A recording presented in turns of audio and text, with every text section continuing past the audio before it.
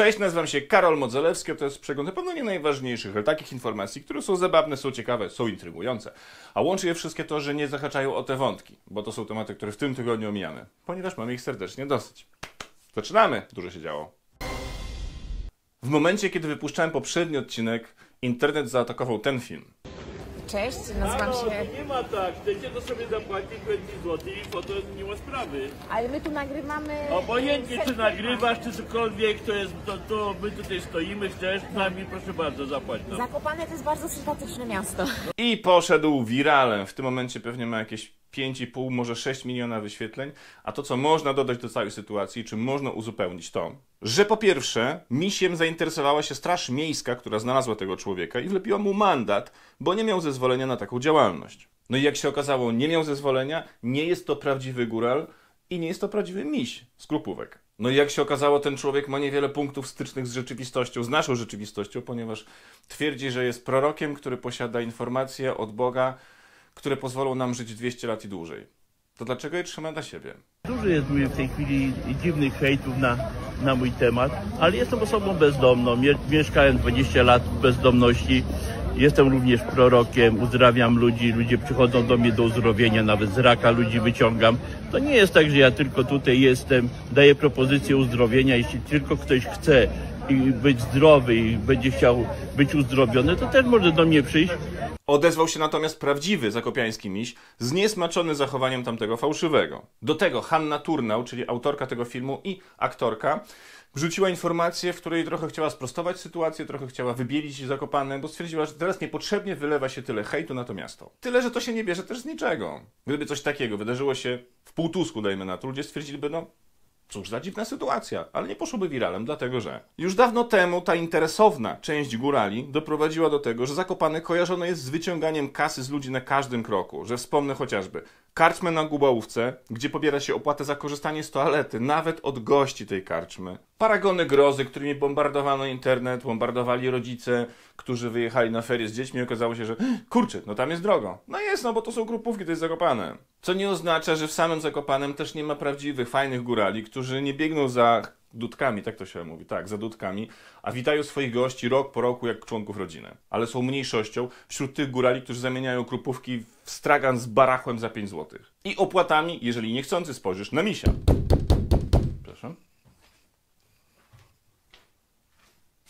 Okej.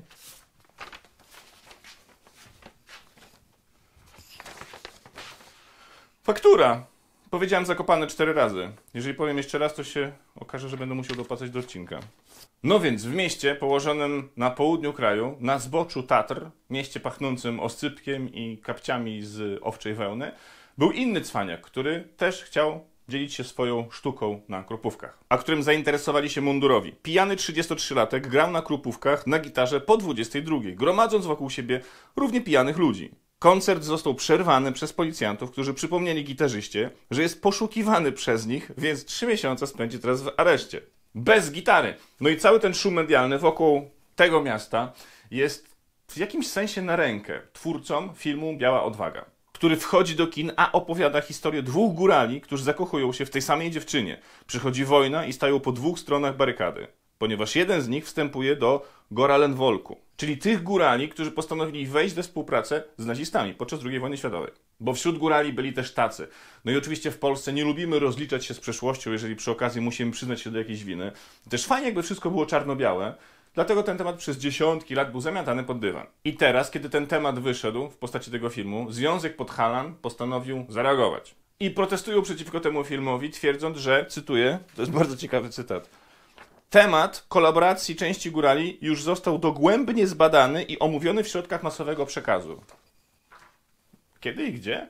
I że teraz to będzie niepotrzebnie wywoływało emocje, a im głośniej będą krzyczeć, tym więcej ludzi będzie chciało pójść do kina. Ten tydzień przyniósł też sprawę kontrowersyjną, poruszającą. Sami ocencie. Draże korsarze w rozmiarze XXL, które do niedawna występowały w postaci draży gejarzy z dwoma korsarzami, niestety na nowym opakowaniu mają już tylko jednego korsarza. Co stało się z drugim? Monotonia w związku, może znudzenie abordażami, Może po prostu oczekiwał od życia czegoś więcej niż tylko strzelanie cały czas tego jednego działa okrętowego. Plądrowanie też może się kiedyś znudzić. Napisałem w tej sprawie do producenta. Dzień dobry. Jako fan draży korsarzy piszę z pytaniem wynikającym z zaniepokojenia. Czym spowodowane jest usunięcie drugiego korsarza z opakowania XXL? Ale szczerze. Z korsarskim pozdrowieniem Karol Mozolewski. I już następnego dnia otrzymałem odpowiedź, z której wynika, że zniknięcie drugiego korsarza spowodowane jest coraz mniejszą ilością miejsca na półkach sklepowych i opakowanie z obydwoma korsarzami jest za szerokie. PS1. W załączniku stare opakowanie i nowe. PS2. Pytanie, ale szczerze, panie Karolu, czy będzie to wykorzystane w newsach bez wirusa lub stand-upie? No jest, no bo bardzo często przysyłaliście mi opakowanie korsarzy już nie gejarzy. I jeżeli rzeczywiście jest tak, że to sieci handlowe stwierdziły, że nie można dać dwóch korsarzy gejarzy, bo są za grubi i się nie mieszczą, to to jest, moi drodzy, fat shaming. Lewacy znają to określenie, a dla prawilnych to jest sytuacja, kiedy osoba gruba jest wyśmiewana z tego, że jest gruba. Teraz lewacy się już aktywowali, no bo nie można używać słowa gruby. No i możemy tak naprawdę długo. Ale do sedna myślmy rozwiązaniami, a nie problemami. Nie możemy korsarza odchudzić, no bo nie może być 50-kilogramowy korsarz. Taki korsarz co on splądruje? Szafę siostra, nie galeon. Korsarz po prostu musi być w kryzysie objętości. Widzicie, potrafię nie używać słowa gruby.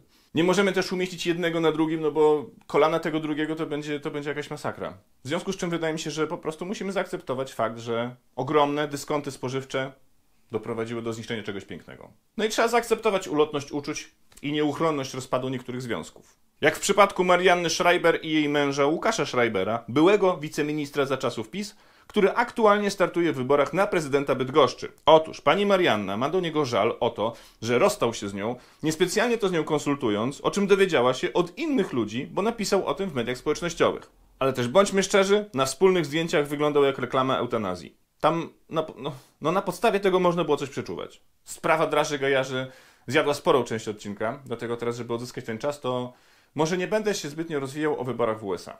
Tylko wtrącę, że prawybory w swoich ugrupowaniach wygrali kandydaci, którzy wezmą teraz udział w wyborach prezydenckich. Wiadomo już, że będą walczyć ze sobą Joe Biden, który będzie musiał przekonać wyborców, że nie umrze przez kilka kolejnych lat, i Donald Trump, który nie kryje swojej przeogromnej sympatii do Putina. No ale ten temat to jeszcze będzie wracał, jak się wszystko tam rozkręci podczas kampanii wyborczej. W takim razie, co jeszcze się wydarzyło na świecie?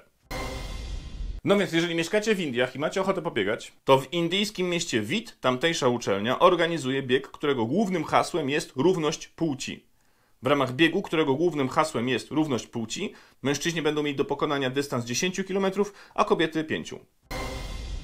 A francuski rząd idzie na czołowe z weganami. Ponieważ w pośpiechu zatwierdził zmiany w prawie, które zabraniają nazywania produktów roślinnych nazwami pochodzącymi od produktów mięsnych, czyli flaczki z boczniaka, boczek sojowy, jakaś kiełbasa z tofu itd. Z jednej strony Francuzi już jakiś czas temu próbowali to wprowadzić, ale wtedy bezskutecznie.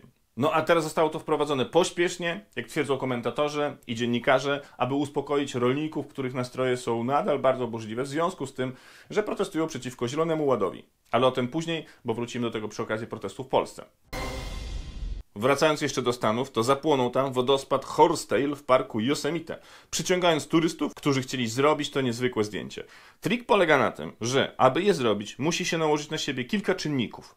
Musi być przełom lutego i maja, musi się tam pojawić woda, musi być czyste niebo o zachodzie słońca, a promienie muszą padać pod odpowiednim kątem, tworząc takie zjawisko. I musicie mieć też aparat fotograficzny. To jest czynnik, który jest bardzo ważny przy tym wszystkim. Jeżeli chcecie zniszczyć pierścień, który przejmuje nad wami kontrolę, no to nie będzie lepszego miejsca.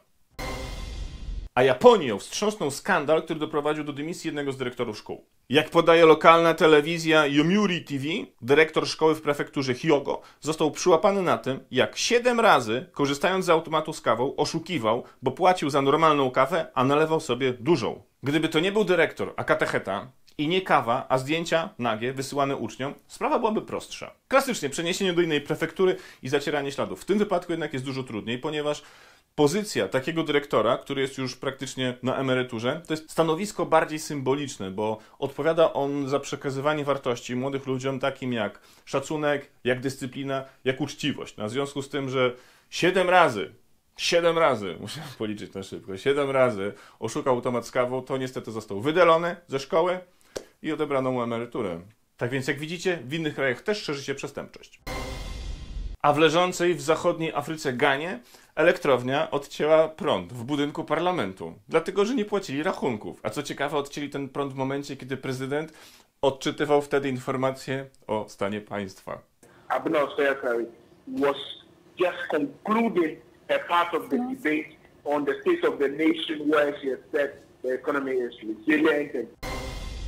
A teraz pora na odrobinę prywaty. I mam dzisiaj dwie sprawy. Pierwsza sprawa. Jeżeli macie ochotę spotkać się na żywo, strzelić fotkę, zbić piątkę, zobaczyć program Bańka, to w najbliższych dniach będę w tych oto miastach. Luksemburg i Zurich już się ładnie wyprzedały, jeżeli chodzi o zagranicę. I w związku z tym dorzuciłem tam jeszcze Paryż. I pytanie do Paryżan i Paryżanek siłą rzeczy. Czy macie ochotę wpaść, zobaczyć program Bańka i się spotkać i strzelić fotkę, zbić piątkę? Dlatego, że wrzuciłem to na ostatnią chwilę i nie wiem, czy jest sens. A więc umówmy się, że w poniedziałek sprawdzę, jak sprzedają się bilety, jeżeli sprzedają się słabo, to odwołuję, jak spoko, to wpadam. No i oczywiście linki do wszystkich biletów znajdziecie w opisie do filmu. A co tam na froncie przyszłej walki z robotami o władzę nad światem, kiedy już będziemy okopani w tych gruzach po kiosku ruchu? Mam dobre wiadomości, w końcu mam dwie dobre wiadomości. Pierwsza. Dziennikarz The Economist dotarł do ciekawej książki, która opisuje eksperyment, między innymi jest tam opisany eksperyment, w którym amerykańska armia testowała robota wyposażonego w kamerę i sztuczną inteligencję. I zaangażowali do tego żołnierzy SEALs, którzy mieli dostać się, podkraść się do tego robota, ale niezauważenie. I każdy zastosował inną technikę. Jeden z nich przebrał się no, po prostu za krzak, pozrywał gałęzie, robot go nie rozpoznał. Drugi zaczął robić dziwne fikołki, fiflaki, takie bardzo nienaturalnie ludzkie, robot go nie rozpoznał. I trzeci wygrał wszystko, ponieważ założył na siebie karton. To, co widzicie tutaj, to fragment gry z serii Metal Gear Solid, w których Hideo Kojima przewidział, że karton może być ostatecznym kamuflażem. Żołnierzowi udało się dotrzeć do robota, temu żołnierzowi w kartonie, mimo że po drodze dość głośno chichotał. 1-0 dla naszych, bardzo dobrze. Druga dobra wiadomość jest taka, że ci, którzy pokładają ogromną nadzieję w sztucznej inteligencji, trochę się na niej przejechali. Ponieważ w Glasgow organizatorzy imprezy, która miała przenieść ludzi do magicznego świata Willego Łąki, reklamowali imprezę wizualizacją stworzoną dzięki sztucznej inteligencji. No popatrzcie, kto by się nie wybrał na coś takiego z dziećmi? No i kiedy rodzice z dziećmi przyszli na to miejsce, zobaczyli to. To jest różnica, jakby to powiedzieć, dość wyczuwalna. Wygląda jakbyście zamiast na złote miasto Azteków trafili na opuszczony tabor cygański. Drodzy młodzi ludzie, którzy oglądacie newsy bez wirusa, szczególnie uczniowie, ci, którzy chodzicie do szkoły. Jeżeli zapytacie swoich rodziców, czy wcześniej, w czasach swojej młodości, wykorzystali kiedykolwiek argument, że o, nie mam pracy domowej, bo pies mi ją zjadł, większość odpowie pewnie, że tak. Inaczej odpowiedzą tylko ci, którzy mają alergię na psy i to ich akurat blokowało w tym kłamstwie. Kłamstwie, no bo psy nie jadały pracy domowej. Otóż, przez to, że to było nadużywane, to zjadanie pracy domowej przez psy, zużyło się i trzeba teraz użyć nowej. I jest nowa. Otóż, od teraz pracę domową zjadają dziki. I to nie w domu, a w drodze do szkoły. I tu macie podkładkę w postaci wideo, w razie gdyby nauczycielka powiedziała, mhm, ta, na bank. Thank you.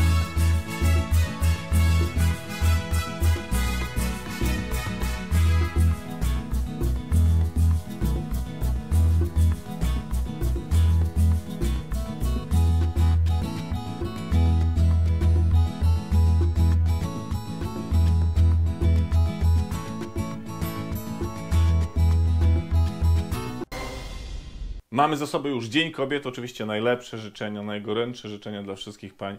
Oby żyło Wam się lepiej niż do tej pory. I jeżeli jacyś faceci zapomnieli o tym bardzo ważnym dniu i bardzo ważnym święcie i zapomnieli też o prezencie, no to mam propozycję. Może na przykład dyplom wyższej uczelni. Mam namiary na taką jedną. Co prawda CBA też ma namiary na tę samą uczelnię, a więc promocja może się za chwilę skończyć. Ta uczelnia to Collegium Humanum. Jej założycielem jest Paweł Czy, bratanek Ryszarda Czarneckiego. A idea była prosta. PiS potrzebował obsadzać członkami swoich rodzin i znajomymi rady nadzorcze i zarządy spółek Skarbu Państwa. A aby taki fotel objąć, trzeba mieć dyplom MBA, na który w normalnych warunkach trzeba pracować dwa lata i wydać niemałe pieniądze. Ale nie wszystkim chciało się czekać, uczyć, no i 2-3 lata spędzać na uczelni. Zamiast tego stwierdzili, dobra, pójdziemy do Kolegium Humanum, tam ogarniemy sobie szybciutko dyplom za kasę i pójdziemy sobie zgarniać ten hajs ze spółek Skarbu Państwa. I mało tego, Kolegium Humanum dostało kilka razy tytuł uczelni roku, który przyznaje ten tytuł, sam sobie tak zdecydowali, Polska Press, która należy do Orlenu. Uczelnia dostawała do tego rządowe dotacje. Między innymi 10 milionów złotych od Przemysława Dajmy Więcej Papieża Czarnka, jeszcze za czasów, kiedy on rządził swoim resortem. I uwaga, te pieniądze tylko przepłynęły przez uczelnię, by trafić bezpośrednio do rektora, który kupił sobie za nie, za 9,5 miliona złotych, mieszkanie na warszawskim Powiślu. Oprócz handlowania dyplomami, rektor tej uczelni lubił też posadzić na kolanie i ponamawiać do wspólnego malowania pejzaży, ewentualnie wysyłał nagie zdjęcia. Takie miał hobby. A, no i jeszcze w ramach hobby groził świadkom, którzy zapowiadali, że będą zeznawali przeciwko niemu. No, ale Pawła czy poniosło. Chciał ugryźć więcej niż powinien. I ma to w genach. Jako bratanek Ryszarda Czarneckiego, który mimo tego, że ma tłustą pensję z Parlamentu Europejskiego, to i tak wyłudzał pieniądze na kilometrówkach, czyli za dojazdy do pracy, których nie było. I za co teraz siedzi na nim prokuratura i Parlament Europejski. To trzeba mieć mentalność takiego cinkciarza, mentalność dosłownie takiego cinkciarza, cwaniaczka, śliskiego typka, który dostaje fuchę szefa kantoru, a i tak po nocy wynosi kalkulatory. I uwaga, co nie jest niespodzianką, Ryszard Czarnecki jest doktorem honoris causa uczelni Collegium Humanum i przewodniczącym konwentu tej uczelni. A dodam jeszcze, że podczas pierwszych przesłuchań, jeżeli chodzi o komisję, która bada aferę wizową, jego nazwisko też się przewijało jako tego, który miał pomagać w załatwianiu nielegalnym, załatwianiu wiz. To jest bardzo ciężki czas dla pana Ryszarda. W efekcie zatrzymano 7 osób z uczelni, m.in. rektora, prorektor, kwestora i kanclerza. W całym śledztwie zarzuty usłyszało już ponad 30 osób. No i wiem, że teraz większość z Was ma w głowie tylko jedno pytanie, czyli kto? Kto ma ten dyplom tej uczelni? Tak naprawdę tylko na to czekamy. Wiem. I teraz uwaga, w związku z tym, że jestem po weekendowym kursie unikania pozwów, to zaznaczam, że nazwiska, które teraz padną, to są nazwiska ludzi, którzy mają dyplom, nie że go kupili. Ok? Aleksandra Gajewska z PO, Sutryk, czy prezydent Białej Podlaskiej z PO, Michał Litwiniuk. Do tego urzędnicy wrocławskiego ratusza, czy też ci z Częstochowskiego. Ale to są tylko mafinki, to są takie małe babeczki. Ten tort prawdziwy wygląda imponująco. Bo są tam Antoni Duda, wujek prezydenta i członek Rady Nadzorczej PKP Cargo. Bartłomiej Obajtek, brat Daniela Obajtka, były dyrektor Lasów Państwowych w Gdańsku. Emilia Hermaszewska, żona Ryszarda Czarneckiego, członek Rady Nadzorczej Państwowej Armatury Kraków. Zofia Paryła, była prezes Lotosu i Energii. Waldemar Kraska, były wiceminister zdrowia. Marcin Dec, prezes Polska Press po kupieniu przez Orlen. Tego Polska Press, które nadało uczelni tytuł Uczelni Roku. Piotr Sabat, członek Rady Nadzorczej Orlenu. Michał Wawryn, szef Rady Nadzorczej Energii. I wielu, wielu, wielu innych. Tam jest zatrzęsienie nazwisk ludzi, którzy albo byli częścią rodziny kogoś z PiSu, albo znajomymi i trzeba było ich wepchnąć do rad nadzorczych albo do zarządów spółek Skarbu Państwa, no ale potrzebowali tego dyplomu. A przy tym wszystkim życzę powodzenia studentom, którzy serio chodzili na te uczelnie i na poważnie płacili pieniądze, i na poważnie się uczyli, na poważnie pracowali na ten dyplom, który teraz jest wart mniej niż etykieta z harnasia. Mało tego, on może być obciążeniem. A więc jeżeli teraz będziecie szli, absolwenci tejże uczelni, na rozmowę o pracę i padnie pytanie, no a gdzie jest pana dyplom uczelni wyższej, ukończenia tejże uczelni? To mam taki film z dzikiem. W ostatnich dniach miał też moment przełomowy, jeżeli chodzi o relacje ludzi i humbaków, czyli ssaków przedstawicieli płetwali. Otóż zaobserwowano, jak malują pejzaże. I teraz informacja dla nowych widzów. Malowanie pejzaży to określenie, które jest stosowane, aby zmylić algorytm YouTube'a, który chce cenzurować, i aby zmylić dzieci. Określenie na czynność, którą e, robimy, najczęściej nago, aby te dzieci powstały. Nigdy dotąd nie udało się uchwycić humbaków podczas malowania pejzaży. Te ogromne zwierzęta wielkości ciężarówki skutecznie się ukrywały przed ludźmi. Naukowców czekała też druga niespodzianka, bo jak się okazało, dwa humbaki, które malowały pejzaże, to samce. Tutaj są pod innym kątem z uwzględnieniem pokrowca na marakasy jednego z nich. Gdzie jest Ordo Juris, jak jest potrzebne? Czy zachodnia cywilizacja chrześcijańska podniesie się po tym ciosie? Raczej nie. Ile normalnych związków humbaczych rozbiła ta para? Czy mają swoje draże? Jak duże musi być opakowanie takich draży, żeby pomieścić dwa humbaki? Tyle pytań. Jedno zdjęcie, tyle pytań. No i czy z Biblii zostanie wycięty ten fragment, który mówi o tym, że prorok Jonasz był połknięty przez wieloryba i spędził w jego brzuchu trzy dni i trzy noce? Pytanie, czy był w trakcie szturchania już. Ołaja! Co mnie szturchasz? Ołaja! A co tam w koalicji rządzącej i w Sejmie? Z plusów podtrzymano wakacje kredytowe, z minusów wycofanie się z obietnicy zmniejszenia składek przedsiębiorców, których popiera trzecia droga i stawia koalicji ultimatum, stawiając na szali przyszłą współpracę.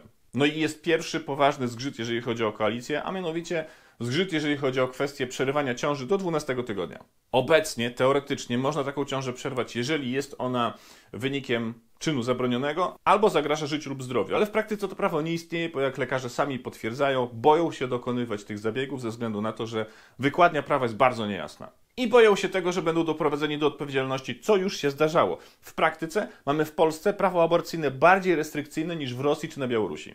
No i powstały cztery projekty zmieniające prawo do przerywania ciąży. O tym, czy i kiedy będą procedowane, decyduje marszałek Sejmu Szymon Hołownia, który zachowuje się no nie do końca przewidywalnie. Po pierwsze, zapowiadał, że jako marszałek zlikwiduje zamrażarkę sejmową, czyli żadne ustawy, projekty ustaw nie będą lądowały w zamrażarce, czyli w praktyce w jego szufladzie, tak, że będą przesuwane w czasie, w czasie, na później, na później. Po czym schował te projekty i zapowiedział, że debata odbędzie się później, 11 kwietnia. Argumentuje to tym, że nie chce takiego poważnego tematu wrzucać w środku kampanii samorządowej. Co jest takim bardzo śliskim argumentem, biorąc pod uwagę fakt, że to będzie dopiero pierwsza tura kampanii samorządowej, po pierwsze, a po drugie i tak wygląda na to, jakby przesuwał to w czasie, aby nie wkurzyć swoich wyborców. Co jest dziwne, no bo jak pokazały sondaże, nawet wyborcy trzeciej drogi, ci konserwatywni, jeżeli chodzi o tę koalicję, są za tym, aby poluzować te restrykcje, jeżeli chodzi o prawo do przerwania ciąży. To w takim razie, dlaczego to odkładanie w czasie? Szymon Hołownia zapewnia, że opóźnia pracę dla dobra wszystkich czterech projektów. Tam może kryć się zatem większa arytmetyka i strategia, albo przekombinowanie Szymona Hołowni, który wybiegł na boisko dryblować i jest już przy polu karnym, ale bez piłki. Jest jeszcze opcja referendum, którego ja osobiście nie czuję, no bo to nie wydaje się być logicznym, aby podczas referendum na przykład starsi ludzie, starsi faceci, którzy biorą udział w tym referendum, mieli decydować o tym, co młode kobiety mają robić ze swoim ciałem. Na tej zasadzie możemy przeprowadzić referendum, czy starsi ludzie powinni chodzić do lekarza. I niech młodzi ludzie o tym decydują. Przecież to jest absurd, ponieważ to jest ich prawo. A na końcu jest Andrzej Duda, który i tak nie podpisze żadnej z tych ustaw, bo mu arcybiskup zabroni. Czyli cała ta kłótnia jest o nic co zresztą podkreśla Szymon Hołownia, więc tym trudniej zrozumieć to wszystko, co on teraz robi. Bo się je zamęt w straconej sprawie. No i tak to wygląda. Przegląd ceramiki, czyli co ciekawego ostatnio zrobiły dzbany. I w tym tygodniu jest to pan, muszę sprawdzić, Tomasz Sielicki, burmistrz Świebodzina, który założył kolczugę sprawiedliwości i ruszył na misję odzyskania parku, parku Chopina. Dodajmy misję przywracania parku mieszkańcom. W takim razie, kto ten park mieszkańcom odebrał? Możecie zapytać. To jest bardzo dobre pytanie na tym etapie. Illuminati, miś skrupówek, gdzieś tam się czai i zbiera kasę od nieświadomych spacerowiczów. Może żule grają w bóle? Nie wiem, chodzi o ptaki. Wrzucił taki post. Przywracamy Park Chopina mieszkańcom. Rozpoczynamy działania polegające na usuwaniu ptasich gniazd oraz płoszeniu młodych osobników w miejscach lęgowych metodami sokolniczymi. Na podjęte działania otrzymaliśmy zgodę Regionalnej Dyrekcji Ochrony Środowiska. W marcu odbędzie się akcja strząsania gniazd, a w kwietniu swoją pracę rozpocznie Sokolnik. Bezczelne ptaki w Świebodzinie ośmielają się na oczach ludzi korzystać z drzew. Jeżeli teraz nie powie się im stop, to co będzie dalej? Motyle na łąkach? Moi drodzy, no, w pewnym momencie trzeba powiedzieć stop. Rozumiem, że chodzi o to, że od czasu do czasu jakiś ptak narobi na ławkę i z tym jest problem, ale czy to jest, czy to jest serio powód do tego, żeby niszczyć gniazda i no ej, to nie jest tak, że jak wypuścisz sokoła, to on przyleci do takiego gawrona i powie mu, słuchaj, musimy porozmawiać. Tam nie będzie rozmowy. A dodam też, że gawrony są na czerwonej liście, czyli są zagrożone wyginięciem. Regionalna Dyrekcja Ochrony Środowiska w Gorzowie Wielkopolskim w ramach dialogu zablokowała komentarze na swojej stronie na Facebooku. A sam Tomasz Sielicki, jak na prawdziwego dzbana przystało, nie odpowiada na pytanie, czy konsultował te decyzje z jakąkolwiek organizacją zajmującą się ochroną przyrody. Czy po prostu poszedł po pozwolenie, bo jest u siebie. I też w ogóle tworząc ten wpis, ewidentnie był podekscytowany i spodziewał się klepania po plecach. Tomasz, ale ty to jesteś. Jesteś naszym bohaterem. Idź, idź na walkę z tymi ptakami. Po czym okazało się, że zderzył się ze ścianą ludzi, którzy myślą inaczej. Pamiętajmy o tym przede wszystkim, że to jest park, tam z definicji powinny być zwierzęta. Jeżeli komuś nie pasuje, bo są tacy, okej, okay, rozumiem, jak najbardziej. Rozdzielcie sobie park na pół. Połowę zostawcie normalnie, tak jak park powinien wyglądać, a w drugiej połowie wytnijcie drzewa, rozłóżcie kostkę brukową i nad ławkami postawcie takie parasole. Chyba o to chodzi, tak? I ostateczny argument, jeżeli ktoś jeszcze nie jest do końca przekonany, że pan Sielicki jest dzbanem. Otóż na regionalnej stronie Dyrekcji Ochrony Środowiska jest wyraźnie napisane, że owszem, jednym ze sposobów jest przepłaszanie ptaków z kolonii i zrzucanie gniazd, ale rekomendowanym sposobem i lepszym jest, uwaga, przycinanie gałęzi z nad alejek. Czyli mógł po prostu od początku zlecieć, słuchajcie, to może przytnijmy gałęzie nad ławkami, i będzie ok, ale nie, on poszedł, on poszedł. Ostatecznie zareagował główny konserwator przyrody i powstał wniosek o ponowne zbadanie sprawy i apel do burmistrza o zatrzymanie niszczenia gniazd. No i teraz ten partyzant ze spalonego lasu próbuje się jakoś tłumaczyć, wycofywać. Jego linią obrony jest to, że bo wy nie mieszkacie w tym mieście, wy nie wiecie jak jest. No tak, bo Świebodzin to jest jedyne miasto z parkami, w którym są ptaki. Ludzie rzeczywiście nie mają pojęcia, co to znaczy. A, no i przypominam, że ptaki, przykład jeżyki, są fantastycznymi wrogami komarów, także powodzenia latem. No i rolnicy przyjechali do Warszawy, oczywiście nie rekreacyjnie, a z protestem. Skończyło się tym razem inaczej, już niepokojowo. Z jednej strony poleciała kostka brukowa, z drugiej strony poleciał gaz łzawiący. Bardziej w oczy, nie że rzucali puszkami. No i tam jeszcze była taka sytuacja, że policjant rzucił czymś. Jeszcze badają sprawę, więc nie rozsądzajmy tutaj jeszcze wszystkiego.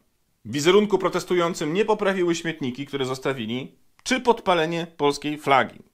No i sprawa jest mętna, no bo przecież do tej pory rolnicy protestowali w sposób pokojowy, zorganizowany. Wszystko było w pełni do akceptacji. Odcinamy się od tego, co się wczoraj wydarzyło. E, Ubolewamy nad tym, że ktoś nam psuje to, co było dobrego. 24 stycznia protestujemy. Nigdy nie było żadnych zamieszek. Współpracowaliśmy z policją. Protesty oddolne. I w pewnym momencie wchodzi polityka. Wchodzi pan Piotr Duda, łącznie z Solidarnością RI. I co? Mówił, że będzie ostro. Pytałem się, po spotkaniu, y, przed spotkaniem z premierem, że co, będzie się bił z policją i się sprawdziły moje słowa. I zostały zamieszki, to prowokatorzy, ale weter idzie, że to my rolnicy. Nie, my nie jesteśmy, y, nie jesteśmy, nie utożsamiamy się z wczorajszymi akcjami y, bijatyki z policją. No i jeden z posłów Koalicji Obywatelskiej, Piotr Borys, powiedział w wywiadzie dla Polsat News, że za zamieszkami na proteście rolników stoją prowokatorzy. Przekonywał, że widział ogłoszenia, gdzie płacono 200 zł członkom Solidarności niezwiązanym z rolnictwem, aby przyjechali do Warszawy. Na co zareagował szef związkowców, Piotr Duda, który oburzony napisał: Panie pośle Piotr Borys, członkowie Solidarności to nie członkowie Platformy, żeby się za 200 zł sprzedawali. Ma pan 24 godziny na odszczekanie swoich słów i rezygnację z immunitetu, żebyśmy nie musieli czekać na proces. I na tym etapie włączył się pan Paweł. To może ja się wypowiem. Pracowałem w prywatnej firmie na terenie Stoczni Gdańsk. Byłem w Solidarności podlegającej pod was. Za protesty dawaliście dwie dniówki, obiad i chlanie. Za protesty pod domem Tuska w weekend stawka podwójna. Oczywiście nigdy nie byłem i się wypisałem. No i wtedy pan Paweł dostał warunek. Podpiszesz się imieniem i nazwiskiem, to się zastanowię, czy ci wierzyć. Więc odpisał. Paweł Grzegorzek, wtedy firma Gafako, zresztą do dziś ta sama. Ludzi zbierał Karol Guzikiewicz. Możesz poczytać. Zapraszam do sądu. No i w ten sposób do protestu rolników, oddolnego protestu, włączyła się polityka w postaci Piotra Dudy. Bo ciężko powiedzieć, że Piotr Duda i PiS mieli romans. Bo romans zakłada jakieś uczucie, a w przypadku Piotra Dudy, czyli Solidarności, kierownictwa Solidarności, żeby tutaj nie naruszyć dobrego imienia szeregowych członków, i PiS łączy Łączył pieniądze i władza, czyli to jest taki bardziej konkubinat z rozsądku. A na pewno dla korzyści. I mam wiele innych określeń na Piotra Dudę i na to, co robi, ładując się z butami, z polityką w protest rolników, ale ten, no ten kurs unikania pozwów. A teraz pora na Psindela, czyli segment, gdzie przedstawiam wam różne zwierzaki z różnych schronisk, które tylko czekają na to, żeby zaatakować was w ten sposób swoją białością. I moi drodzy, w tym tygodniu idziemy na rekord jeżeli chodzi o szybkość adopcji. Mam nadzieję. Bo przedstawiam wam Dustiego, psa, który jest odpowiedzią na pytanie, jak wyglądałaby radość, gdyby była psem. Popatrzcie na niego. Wygląda jak nieślubne dziecko czubaki. Dusty uwielbia ludzi, ale to tak serio uwielbia. Nawet bardziej niż piłki czy patyki. Uwielbia głaskanie, czochranie, drapanie. Uwielbia też skakiwać na kolana. Uważa, że tam jest jego miejsce. Argumentacji, że nie, raczej nie przyjmuje. To jest największy pieszczoch, jakiego widziano w tym schronisku. Ma problem z jedną z przednich łap, przez co kuleje, no ale to nie przeszkadza mu na spacerach zbytnio. Nie szczeka na samochody, rowery czy inne psy. Taka ogromna, puchata, tocząca się kula radości. I taka kula, która leci w waszą stronę, wyobraźcie to sobie.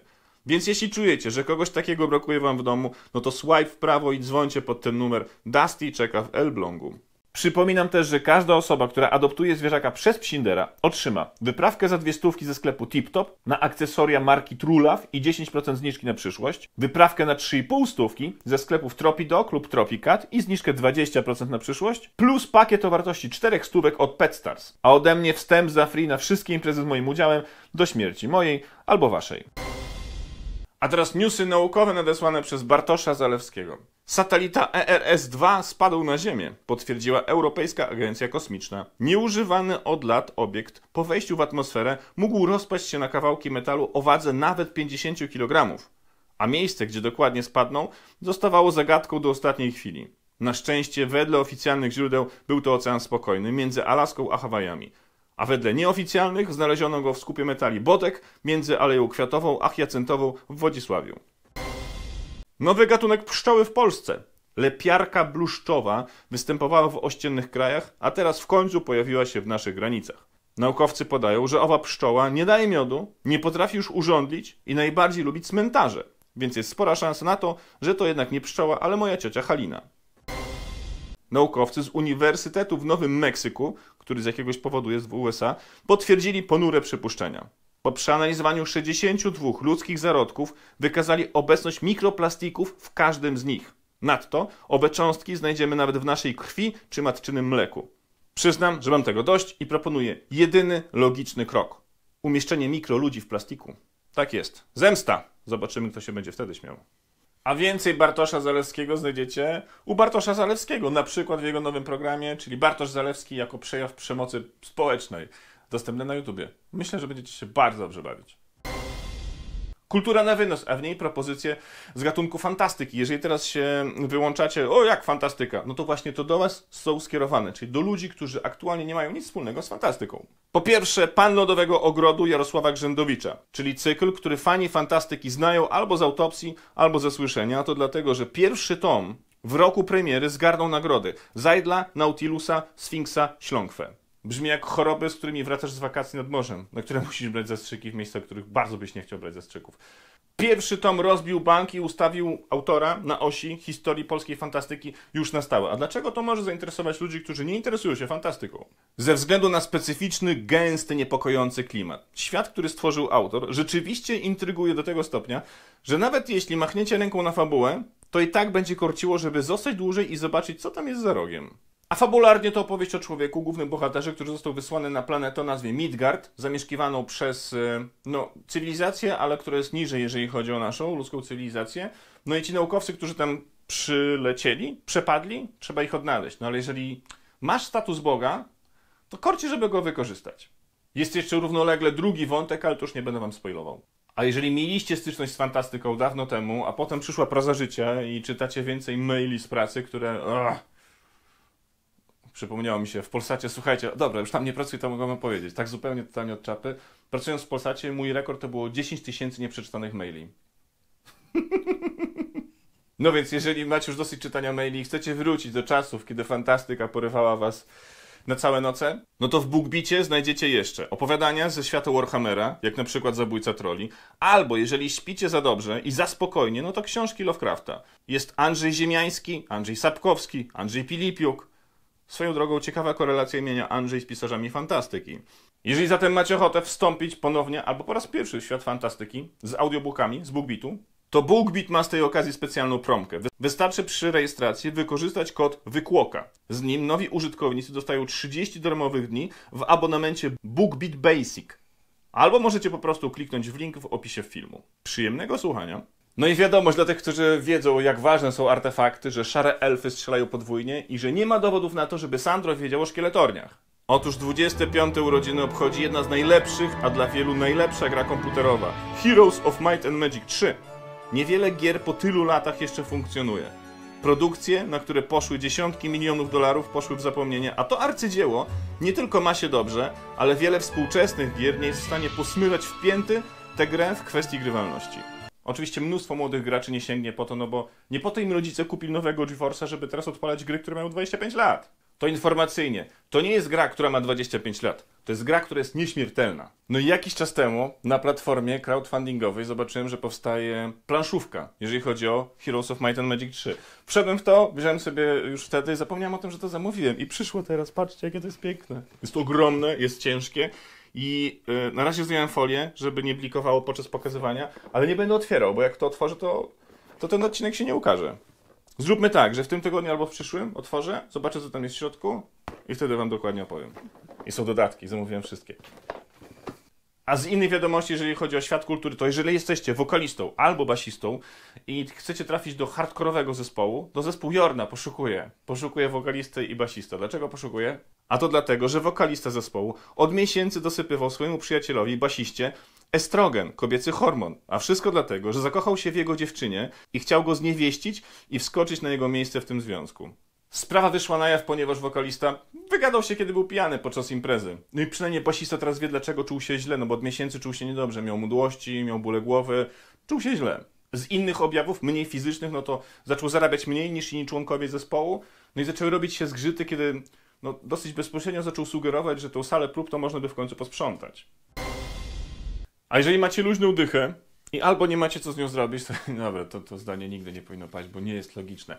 Jeżeli macie luźną dychę i czujecie, że po weekendzie będzie was sumienie swędziało, to można już teraz je udobruchać. Poddaję pod rozwagę zrzutkę na Maję. Maja w zeszłym sezonie zajęła czwarte miejsce w klasyfikacji sezonu wśród kobiet, a był to jej pierwszy w pełni przejechany jako pełnoprawny zawodnik sezon.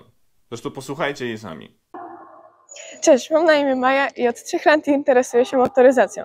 Ścigam się w Mistrzostwach Polski, Pucharze Polski i Mistrzostwach Śląska i ostatni sezon e, skończyłam na czwartym miejscu w klasyfikacji generalnej Mistrzostw Polski.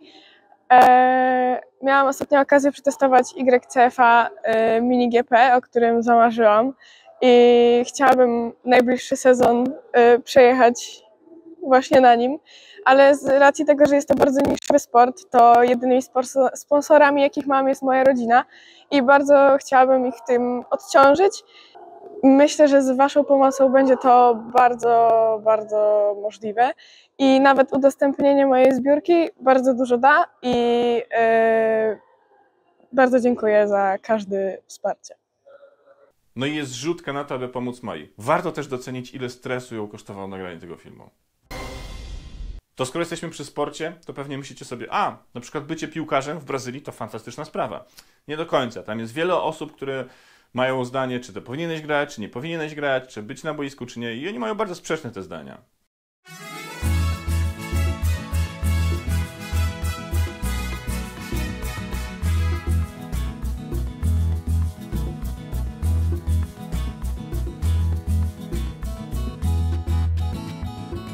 Nie ma natomiast pytań co do tego, czy Ewa Swoboda powinna biegać. Powinna. Oczywiście, że powinna. Właśnie zdobyła srebro na halowych mistrzostwach świata w Glasgow na 60 metrów. No i Arleta Podolak zajęła trzecie miejsce w wysoko punktowanym turnieju Grand Slam w Taszkencie. Dobrze, że te kimona mają różne kolory, bo to noga jest w dziwnym miejscu. A Michael Dunlop, jeden z najszybszych motocyklistów drogowych na świecie, ma na koncie nowy sukces. W samym Isle of Man TT posiada 25 zwycięstw, więc ciężko byłoby to przebić, a jednak się udało. Otóż 34-letni Michael Dunlop właśnie zdał prawo jazdy na motocykl. Gratulacje kolejnych sukcesów. Jeszcze znalazłem te prawdziwe gejarze. Nie będę ich otwierał. Za 80 do 120 lat będą warte bardzo dużo. Moi drodzy, to wszystko w tym odcinku. Wielkie dzięki, że zostaliście do końca.